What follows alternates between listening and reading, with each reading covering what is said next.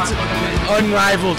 I'll tell you, it's unrivaled. I've never seen anything this uh, huge. Someone came 20 hours away, like, and it's friendly and it's kind and it's dangerous but not violent and it's hard but protecting.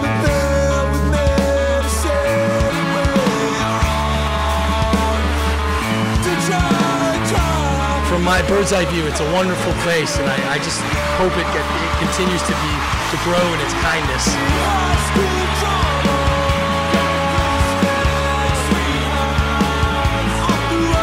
It's, it's all the crowd. It, it really is. It's the crowd, and we, we really just enjoy being with each other. So it's a perfect set setup.